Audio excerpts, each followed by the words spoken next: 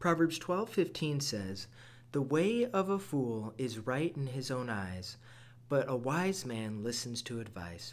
Proverbs 12:15.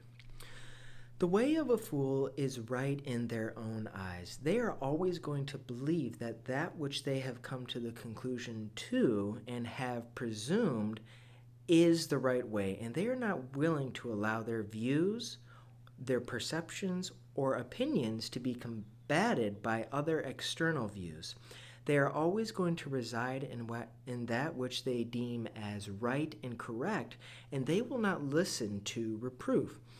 And this is a very dangerous road because if we hold on to opinions that can never be challenged, how can we know that that which we believe is in fact true? We need to be open for good dialogue and discussion. We need to be open to hearing other viewpoints and beliefs and perceptions.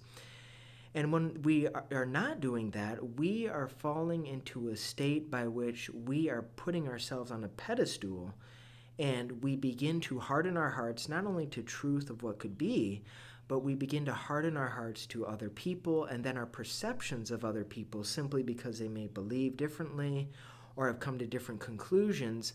We then begin to idolize ourselves, place ourselves above them, and we begin to look down upon them and begin to criticize and ridicule them.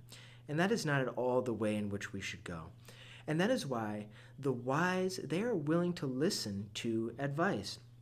We know elsewhere in Proverbs it speaks on uh, those who have, you know, basically, I, am paraphrasing and putting in, in uh, modern day words, but those who have a board or a council of other people that, who have advisors, they're not going to be easily led astray because they are able to take that which they deem is right. They can take it to those who have gone before them, who have more wisdom and experience, and they will listen and learn to what those other people have to say.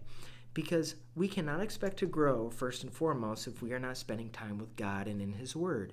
And when we are born again and have believed Jesus Christ as Lord and Savior and repented of our sins, we are able to have access to Him who is wisdom, who was there before the foundations of the world and is the one who merely spoke out that which we now deem and see is reality. But a wise man is willing to listen to advice. This advice can come through the Word of God, it can come through those who are older than us, it can come through uh, those who might be mentors to us or, or godly family members. And a wise man will always listen to advice, and a wise man will also listen to other viewpoints because other viewpoints can help to uh, have us see things that we may have not seen before. It may help to strengthen our already established uh, belief uh, simply because we're taking time to hear what someone else says. But if it's not making sense based upon what truth is, then our view is strengthened because we now know how to respond to those type of people. A wise man is willing to listen to advice no, and listen in regards to whoever they are. They will listen before they speak, and we know that even a fool is deemed wise if they keep quiet.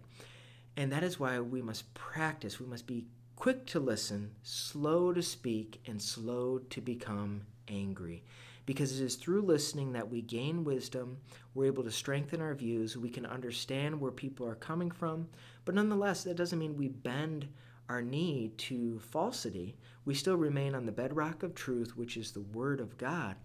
But we are also able to listen and hear advice because a wise person will always hear wisdom from other wise people.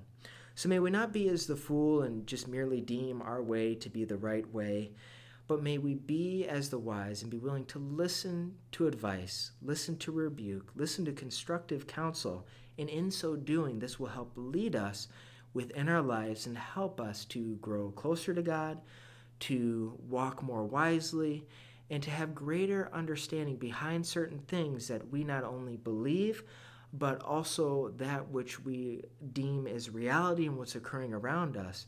Because Wisdom, first and foremost, comes from God, but if we are willing to listen, God can speak through those who are wise and which He has gifted with the gift of wisdom.